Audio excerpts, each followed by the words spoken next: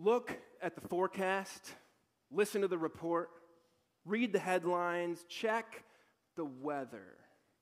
We do our best to prepare for what is coming, but sometimes, sometimes the weather changes.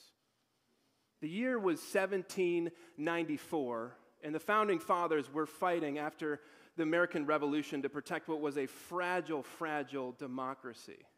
Nostalgia might have you think that it was a nation brimming with opportunity from sea to shining sea.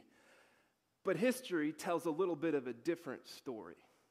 J. Edwin Orr is a historian who wrote extensively on the past few centuries on the history of Christianity, of revivals, especially in the nation of the United States of America. And he says, in the wake of the American Revolution, the nation was a moral mess. Out of 5 million people that lived in the colonies, 300,000 were alcoholics. Women wouldn't dare go out at night. Banks were robbed on a daily basis. The pews were emptying out in churches, and the pastors were leaving the pulpit.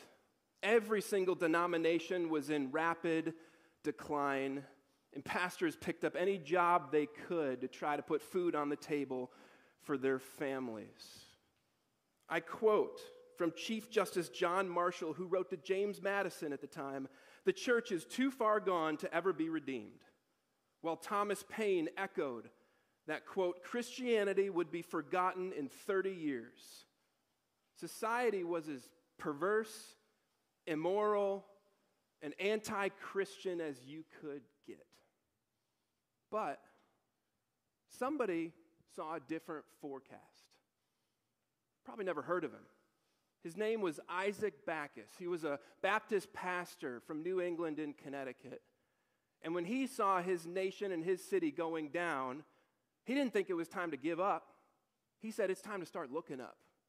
So he gathered his church simply together to pray on a monthly basis on the first Monday of the month. There's a few pastors down the street that heard about it in their churches too. He said, Well, we'll, we'll join you. We'll do twice a month on Tuesdays. A year later, they estimate two thirds of all the churches in Connecticut were getting together on a regular basis with their congregation and praying for their city and praying for the United States. They were praying for the rains of revival. A year later, I mean, it says the majority of all those churches were praying and it had spread to the rest of New England. Historians will tell you it was the sparks.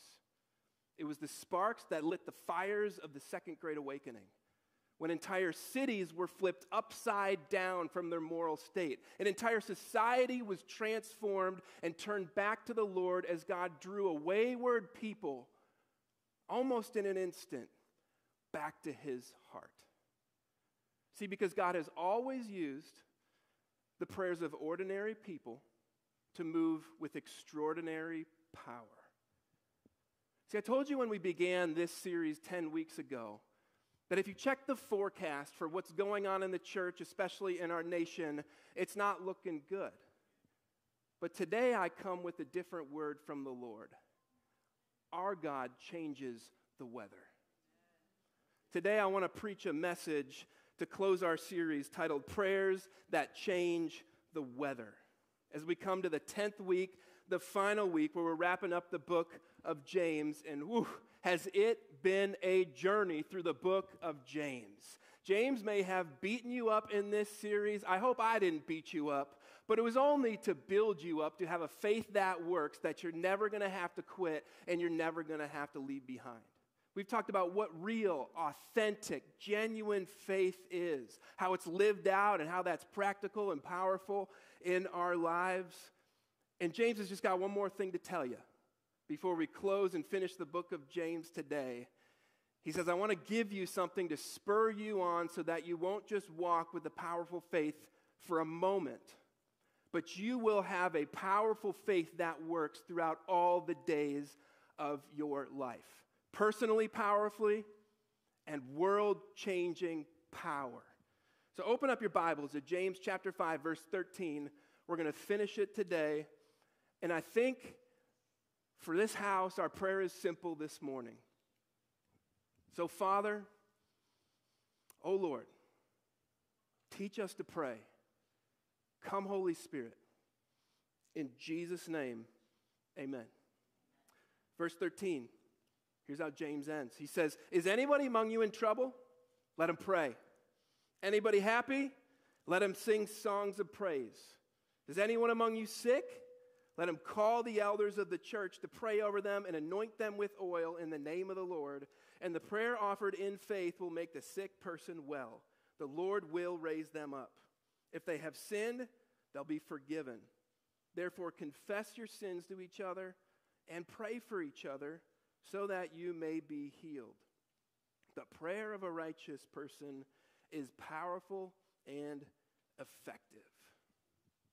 You know, it's been said great theology is oftentimes found at the intersection of clarity and complexity. And when you open up the book of James, these verses are perhaps the most clear and complex as they come. I mean, on the one hand, there is clarity that he says, let's pray. Let's just simply pray. Prayer is a place of power for the believer in Jesus. There's clarity. And then there's a little bit of complexity in these verses. I mean, theologians would say a lot of them, these might be the most complex verses in the entire New Testament. Because you may have questions like I have before, like, how do we pray? And who should we be praying? And what's up with the magic oil? And what's up with the prayer of faith? And how much faith do you need? And does it say that God doesn't heal if I have unconfessed sin in my life? Is that what these verses are, are saying? So I want to get to the powerful. I want to get to the practical. I want to get to the prophetic. But I think definitely in this house, perhaps in your faith, if you're new to following Jesus, maybe we should start with some presumptions about prayer, shall we? Maybe I should sort out a few things. What is this teaching? What isn't this teaching? And what does prayer mean in the life of the everyday, ordinary believer? I want to give a headline today the presumptions about prayer. Because here's the big idea that we're going to unpack is faith that works prays. Can somebody say that in the house this morning? Faith that works prays. I mean, an active prayer life is essential for a faith that works. I mean, it's also clearly essential for a church that works. Notice how James is like reminding all the churches of this. Remember, this was a letter sent out to the churches. He's like, hey, you know about that praying thing? You should do that. That's my final remarks. You should do the praying thing that should be active within your faith and active within your church. I mean, look what he says. Anybody in trouble? The whole early church is like, yeah, we're all in trouble. We're all being persecuted. We're being like hunted. He said, pray. He says, anybody happy? I don't know. Some of the hands might have gone up. Be like, yeah, we're, we're happy. So pray. Praise. That's what worship is. It's praying along with music and singing. Pray. I mean, he just says anything going on. Anybody sick? Pray.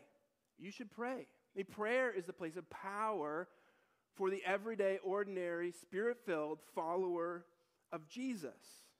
I mean, we, we're not shy about this at Miracle City. Any situation, any diagnosis, any joy, any pain, any tear, any sorrow, we go to prayer. It's our first response. We don't bring God a bunch of solutions. We go to the God of all solutions and we say, you know, we can pray about this. We can get answers from the God who gives answers and who moves through prayer. I mean, James is also saying, look, everything I've taught you in my letter, you know, all the other weeks of this series, from your trials and temptations to your words and your relationships to your plans to your waiting, it only works through prayer, you know. You got to keep praying through all of that stuff. Because prayer is not an event, prayer is not an activity. Prayer is not just a department at the church or something that your pastor does. Prayer is how your faith works. Remember, faith that works is what? It's a relationship with Jesus. Prayer is simply talking with God. Prayer is interacting with the one who split heaven and earth to come and interact and be in a relationship with you. I mean, if you've never known it before, maybe just personal prayer is, is really powerful. It's part of the everyday life of the believer. I mean, why you need prayer? To be in a relationship. I mean, think about the friendships that you have. Think about the family that you have. A healthy, thriving relationship includes dialogue, it includes talking. It's one of the primary reasons we pray as followers of Jesus because it's a time of intimacy with the Lord. You can share what you're going through. You can reveal what you're feeling. Yeah, God already knows, but He wants to hear it from you. I mean, prayer is primarily not a way to get what you want. Prayer is about being with who we need. It's a relationship with Jesus. Prayer is how we get an intimate relationship with Jesus. And then you come to find out prayer is also connecting with God's heart for the world. I mean, sometimes you may be caught in the complexity of like, why should I pray if God already knows everything and He's sovereign? He is sovereign. But God has sovereignly chosen that His plan is to use the prayers of His people. That's why we pray, that God might invite you into some things and say, hey, I want you to pray along for this. I'm drawing your heart into this. Like we say at Miracle City, we pray like it depends on God, we work like it depends on us. Prayer is also connecting with God's heart for our situation and our needs because God does want to meet your needs. He does want us to intercede for your life and for one another. I mean, prayer is ultimately how you communicate with the one who has and knows what you need. I think perhaps Martin Luther said it clearest. He said, To be a Christian without prayer is no more possible than to be alive without breathing. I mean, even if this is your first weekend, or if you've forgotten everything else in the series, which I pray you didn't, but if you did, it's like James saved the best thing for last. He's like, You have a relationship with Jesus, so pray. It's how your faith breathes. You can share everything with Jesus. I know so, sometimes you may think like prayer is when I close my eyes and I bow my head and I sit there for 30 minutes and I try to focus on God. You can definitely do that. There's a time and a place for that, but can I just expand your thinking? Prayer is just conversation. Prayer is always connecting with God wherever you're at and wherever and whatever you're going through in life. I mean, it, it could be your tears that you're connected with God about, your sighs, your hopes and your dreams, your worries and your anxieties. God just wants you to bring it all to Him in prayer. He wants a relationship with you, He wants to talk with you.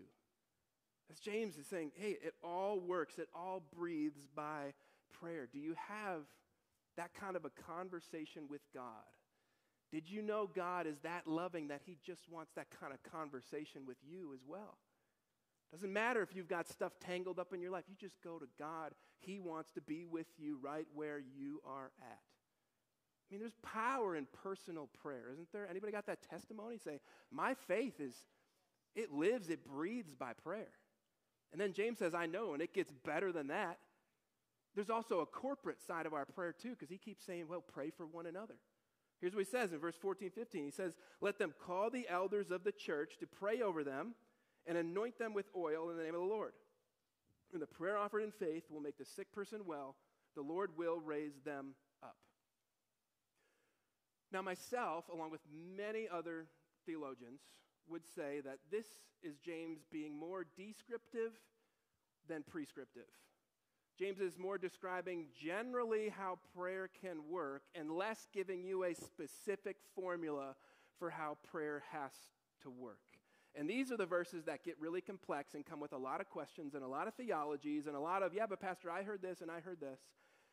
So maybe can I just bring some help to this this morning? Maybe a bit of unity to Miracle City and maybe a bit of help if maybe you've kind of been confused by healing prayer and who does it and how does it work and why do we have oil and what's up with the amount of faith that you need.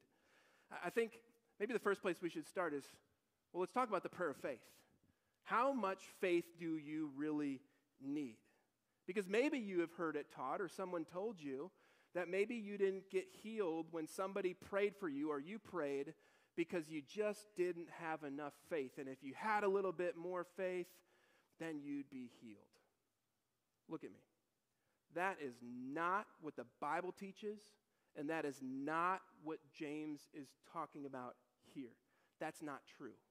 And even worse than that, if you're sick and praying for healing, then you're sick and you're doubting your faith because you think you didn't have enough.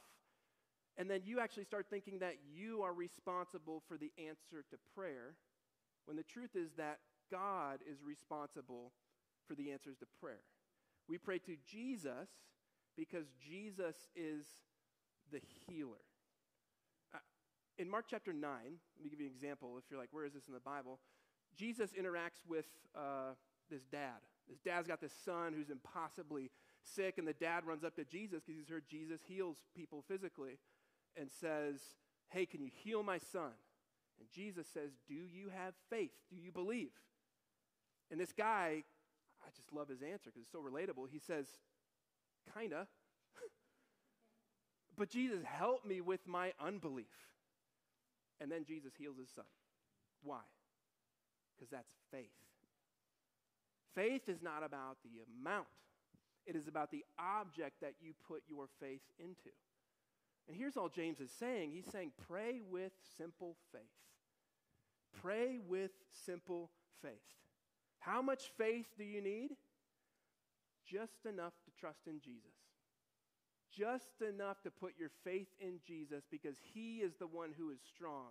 He is the one who is mighty. He's the one who answers prayers. He's the one that does all of the healing. We just get to bring ourselves to Jesus in prayer. Can I just say, faith that works simply prays with even the littlest bit of faith. But you may say, well, does this mean that God always heals? Because it kind of seems like that's what it's saying. It says, will be healed. The prayer of faith will be healed. So maybe that's why I wasn't healed. You know, God gives answers to prayers, doesn't He? And sometimes God answers yes immediately. I love those prayers. Can I get an amen when God says yes, yes immediately? I'm like, woohoo, that's great. Seems like they don't always happen that way, though. Sometimes God says no immediately. Sometimes God says yes, but it takes a long period of time. Sometimes God says no, but it takes a long time in us to reconcile and come to accept that God has said no. I mean, God holds the answers to prayers. And some take verse 15, we'll just kind of get into the details, to mean that God always heals. It's always God's will to, to heal. Now, here's a bit of my theology. It's hard for me to read through the Bible and get there. That sounds really good. It really does. I want, I want that. But then I read through the pages of Scripture where we find truth in God's Word, and I'm like, yeah, but that just doesn't seem to be the way that God always, always works. I mean, the Apostle Paul, you talk about a guy with a lot of faith who prayed out to God and said, please heal this thorn in my side. And Jesus said, I won't because my grace is sufficient for you because my power is made perfect in your weakness. I'm not going to heal that, Paul, because I'm ultimately in control. See, prayer, I don't believe, is this way to control and command God. It's a way to commune with a God who is in control. And there's a big difference there. Because when we think we're in control, then we become God, and then the answers to prayer become all about us. But Jesus said, You just trust me. I'm the one who answers prayer. You can simply surrender it all over into me. You know, it's, it's interesting. In verse 15, it says, The prayer offered in faith will save the sick person. That's literally what it says if you dig into the Greek. It's, it's kind of a strange verse. It says, The prayer offered in faith will save the sick person, which is a weird w- way to talk about it because don't sick people get healed, not saved? When the Bible talks about saved, it's always God saves sinners and he heals the sick, except Jesus talked about it a little bit different. And I think this is what James is doing. He's taking one out of Jesus' book. When Jesus would come and minister, he'd often catch people's attention. Like when the paralytic was being lowered from the roof, they cut a hole in this person's roof, lowered this person on a mat in front of Jesus. Can you imagine the scene? And everyone was expecting Jesus to say, Wow, that's a lot of faith. Your faith has made you well. But Jesus says, Aha, I have forgiven you of your sins. And people are like, Say what? This guy is saying he has the power to forgive sins, and, he's, and then he heals him. Because Jesus came primarily to heal the sin sickness of our heart on the first time around. He's coming back. And when he comes back, he is going to have everything new, everything restored, everything healed. You have healing in Jesus' name for eternity. But James is using this little word very creatively, I think, to point us towards the cross. He said, Trust God with the answer. Trust God with the answer because the eternal answer is already yours immediately in Jesus Christ at the cross. And whether God says yes now or he's already said yes into eternity, we can simply pray and trust God with the outcomes because we believe God heals. But he calls us into the process not to decide the outcomes. You may say, well, is it certain people? Like, do I have to be an elder to pray for healing? Maybe you were taught that at your church, or someone was like, whoa, that's advanced prayer stuff. Like, you cannot get into that. That includes oil. Like, what's up with the oil? You know, James is saying, call the elders to pray. More in this context of saying, like, you're bedridden, you're at home, you're sick. Call people from the church over to pray over you. And then, like, the next verse, he says, pray for one another. James is not being exclusive in who can pray and how they can pray. James is actually being radically inclusive, saying, Come on, let's all pray. And as a church at Miracle City, we practice all of the above. We have our elders go and anoint and pray over people. Yeah, and we also have our pastors and our staff do it. Yep, and we also equip our home group leaders on how to pray. And maybe your servant leader team has, has prayed for you before, or somebody random at church or you don't even know, and they are praying for you. We say, yes, that is who we want to be. And maybe you're here and this is like, that is a radical concept. That is not the kind of background I come from. Can I just take maybe a minute and say, I, I hereby commission you in the name of Jesus to pray for one another. That is an okay thing to do. You can pray for healing in Jesus' name for one another. You don't got to go to one specific person to do it. Let's just pray, is what James is saying. I mean, Romans 8 11, the same spirit that rose Jesus from the dead lives inside every single believer. That's what the oil is primarily about as well. I even brought some of it with today. This says anointing prayer oil. It's just regular oil. It just comes with a really fancy label. The oil was more of a symbol of the Holy Spirit than anything else. This is what they did in the Old Testament. They would anoint leaders, they'd anoint priests or prophets or anybody they wanted just to set apart for a spiritual purpose.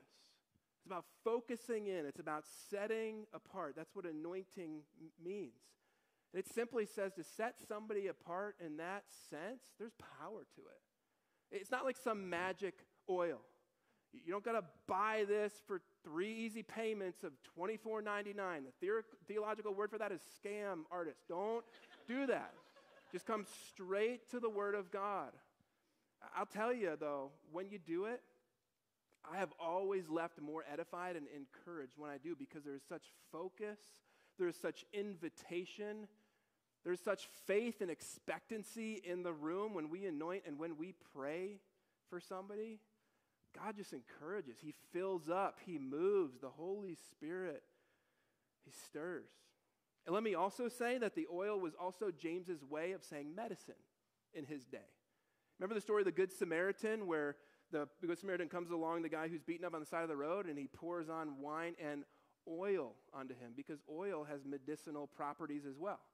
It's James saying, hey, don't forsake the miracle of modern medicine in your society either. We've got gifted nurses and physicians and therapists and counselors in our society and part of Miracle City Church, and you are part of the miracle. I mean, if you've ever heard someone say, like, you just got to stop taking your medicine to really get a miracle, no, no, false, false, false. God uses natural means and God uses supernatural means however He wants to. I mean, if you've ever been on a healing journey with someone or in your own life, you know it's a journey, isn't it? I mean, I don't know how it exactly works in God, but I find He uses the natural means mixed in with a little bit of supernatural means, sometimes more of one or the other. But it's a journey because God is so unique to every story. God is so unique to every healing journey that someone is on, and He simply says, Hey, I just want you to pray for it. I want you to realize that there's a spiritual connotation to this, and there's some natural connotations to this as well. Can I just say, faith that works prays? It's pretty simple. We can pray for healing, we can pray for one another. Maybe you said this, but, but what about the sickness, like for unconfessed sin? Because, like, I had someone tell me once that, like, maybe I wasn't healed because there's something unconfessed in my heart. I mean, maybe you read this verse in 15, 16. It says, If they have sinned, they will be forgiven. Therefore, confess your sins to each other and pray for each other so that you may be healed. Can I tell you what James is saying here? He's saying, check your heart. Check your heart. not all sickness comes from unconfessed sin, but some can. What James is talking about here is if you have ulcers because you are so angry and you have bitterness and rage inside of you, there is a clear spiritual issue that might heal the physical issue. If you can't sleep and all the problems that come with not being able to get rest because you are harboring unforgiveness in your heart, you have a grudge against somebody, James is saying there might be a spiritual issue that can clear up a physical issue.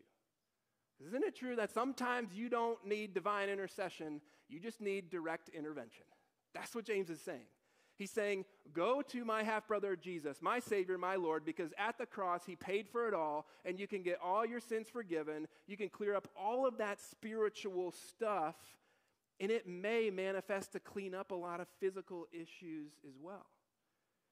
You may say, but how do I know? Like maybe there's some unconfessed sin. Maybe I got to like comb over my entire life and I got to find the sin and then I find the sin and then I get rid of it. Stop. Psalm 19:12. David. Talk about a guy with sin and unconfessed sin. You can read his whole testimony in the Bible. David even prays to God and says, Oh my goodness, God, forgive me of my unconfessed sin. I'm sure there are things going on in my life that I haven't gotten right. Your pastor would say the same thing. Anybody got that testimony where like you've been doing something for a year and then the Holy Spirit convicts you and you're like, oh my goodness, I've been doing this for a whole year. I thought I was like doing the right thing, but then it was wrong. That's why you don't got to comb over your whole life. There's grace, grace. You can go to God and pray about it because God's got the answer. You don't got to worry about there's being this hidden thing, and it'll be clear to you if it happens. I'm contending for this to cut through so much of what is complex within the church to get to the heart of clarity that the Word of God is saying that there is power in a praying church. There is power when everyday believers lay hold of prayer. And so often we love formulas and explanations, but God works on faith and expectation. That's why James is saying, Come on, church. Let's just pray. Every season, every situation, no matter what's going on, faith that works prays.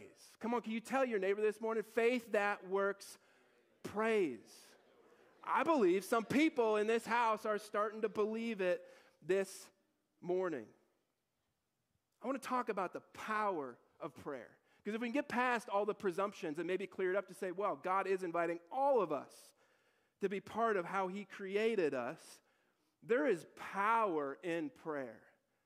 Because I believe God still heals those who are under the weather. And I still believe God changes the weather that the world is under. It says, the prayer of a righteous person is powerful and effective. Verse 17 says, Elijah was a human being, even as we are. Come on, someone say, even as we are. He prayed earnestly that it would not rain, and it did not rain on the land for three and a half years. Again, he prayed, and the heavens gave rain, and the earth produced its crops. The year was 860 BC, and God used an ordinary man, just as we are, to change the trajectory of the weather in his generation. Just because he had the faith to say what God says and pray what God prays. In a world that was walking away from God, King Ahab, Queen Jezebel were in charge. They were leading the nation of Israel off in the opposite direction. It was open rebellion against God. And God told Elijah, Pray what I asked you to pray. Deuteronomy 11, God was clear with his people if you walk away from me, I will not send rain. I will send a drought over the land to show you the drought that is in your hearts until you turn back to me. And so Elijah prayed, and for three and a half years, it did not rain. And it caught the attention of the people, caught the attention of the king and the queen. And Elijah said, We'll figure out whose God has the power to change the weather in this generation. So meet me up on Mount Carmel. The entire nation gathered together with Elijah. All the prophets of the false idol Baal were there. They set up two altars, put a sacrifice on top, and said, We'll pray. See who can consume the sacrifice and change the weather. All the prophets of Baal, they sacrificed, they cut themselves, they danced, they shouted. Nothing. That's all idols do. They make you cut and bleed and sacrifice for them, but they will never respond. There is no power.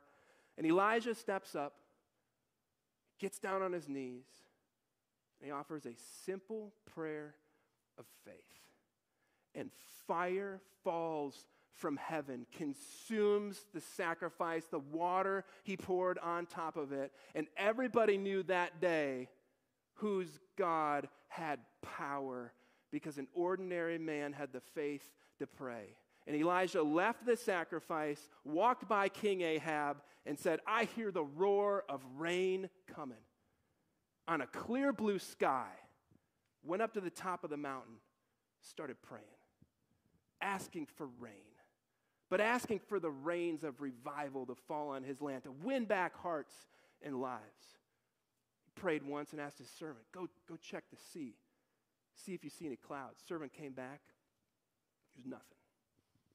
Elijah knew that sometimes God says yes, but it might take a little time. So Elijah prayed again, twice, had him go check, nothing. Clear blue sky. Three times, four times, five times, six times. You ever prayed for something and had to keep prevailing in prayer? Still nothing. But on the seventh time, Elijah prayed, and his servant comes back and says, Elijah, I see it. There's a small cloud in the distance, and it is dark with rain.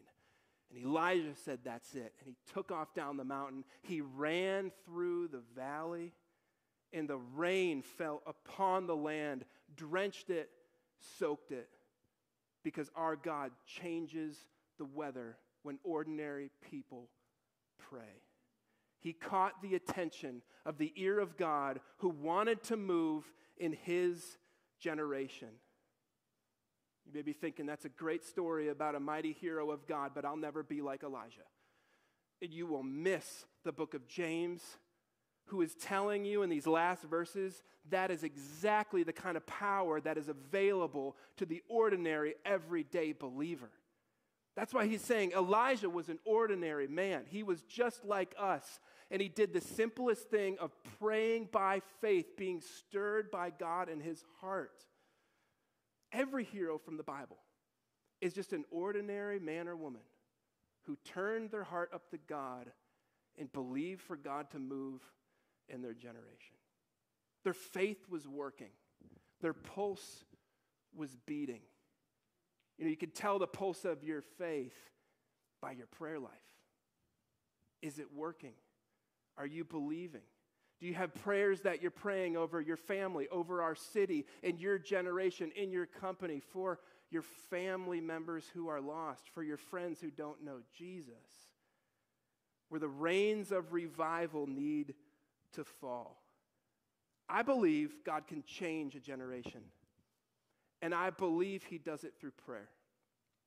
I want to talk about prevailing prayer.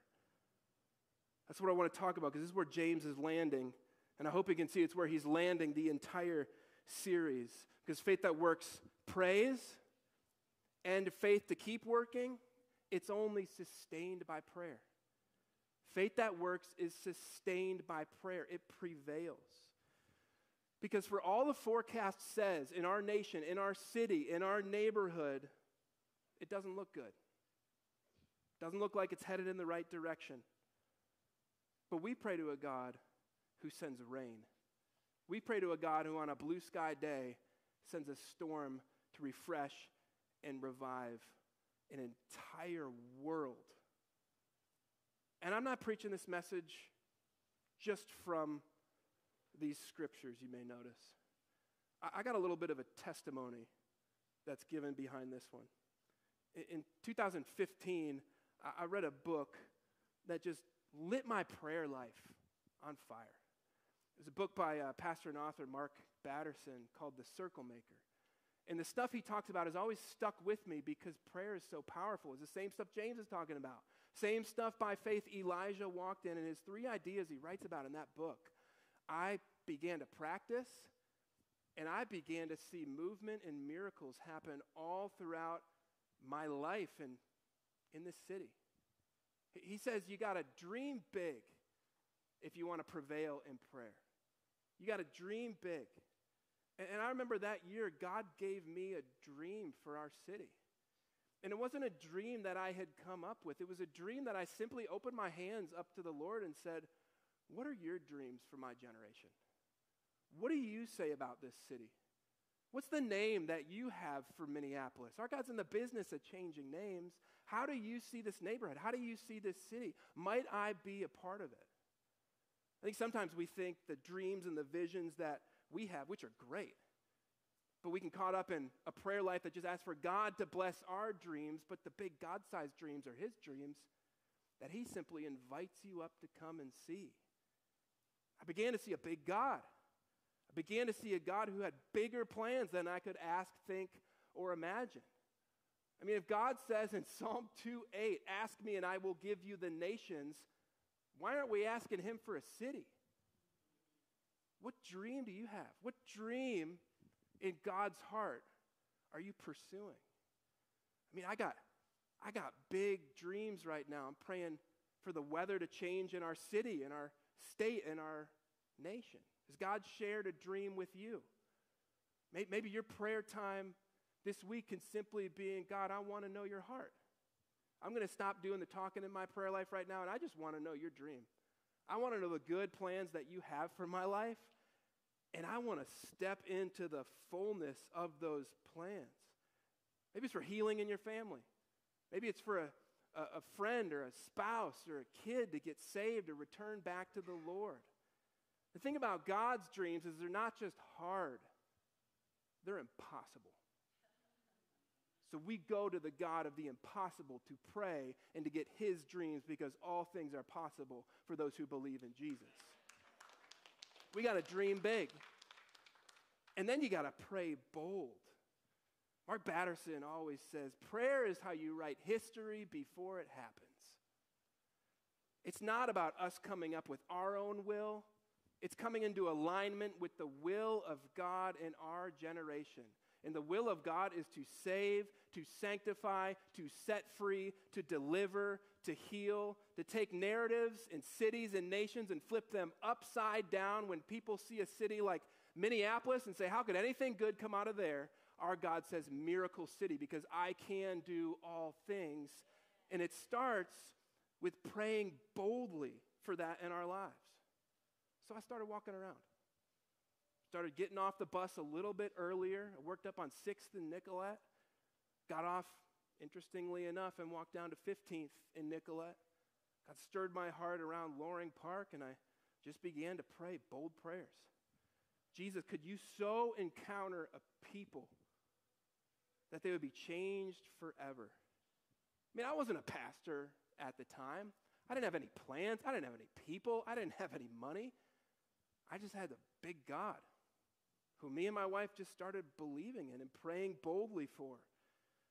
I mean, I don't know how it works in God's economy. I try to stay out of that stuff.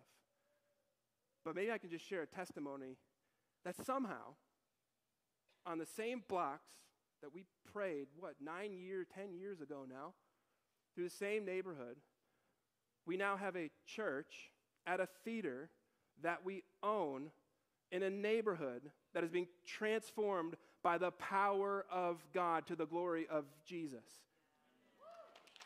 I mean,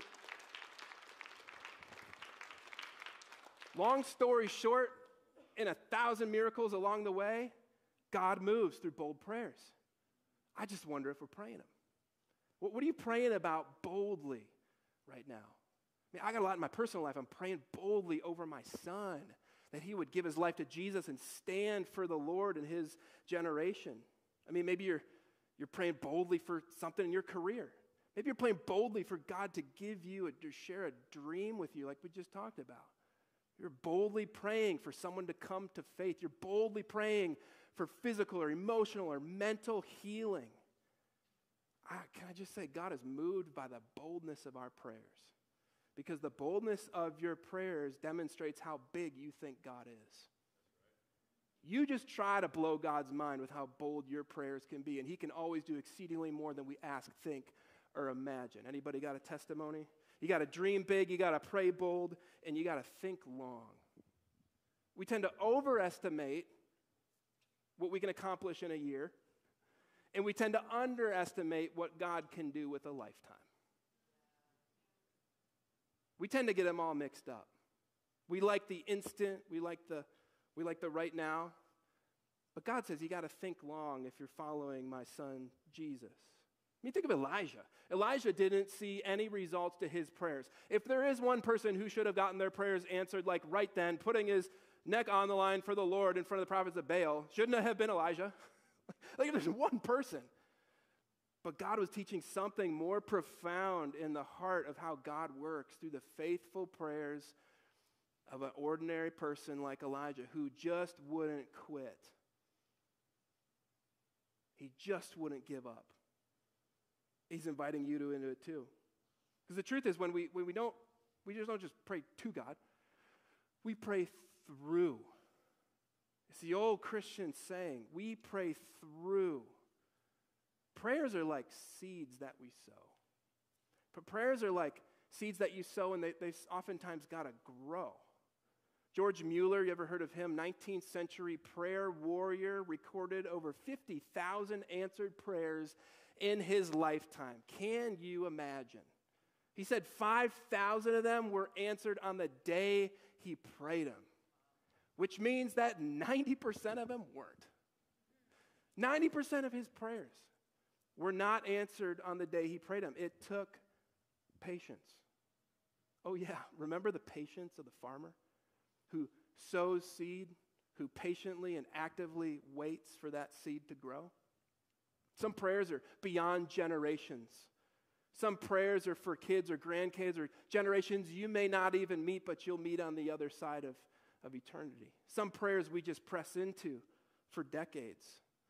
I mean, a long view of prayer sustains a lifelong walk with Jesus. You got to think long. And can I just say, if you've ever prayed for this church, if you've ever prayed for this neighborhood or this city, your prayers are working. Your prayers are growing.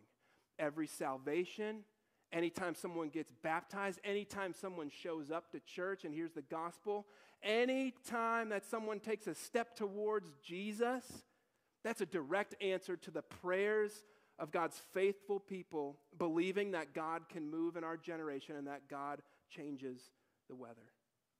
If you want to get involved in prayer, can I just say, come to city nights?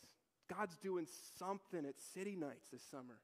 He's stirring up something in the heart of this church as we intercede for our city and, and the nation and for our, our church.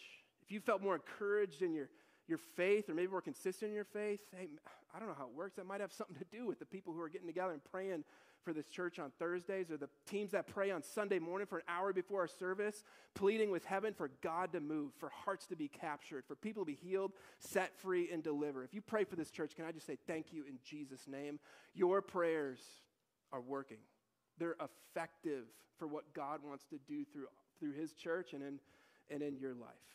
Because I still believe that God changes everything and Jesus changes everything when people come and when people pray.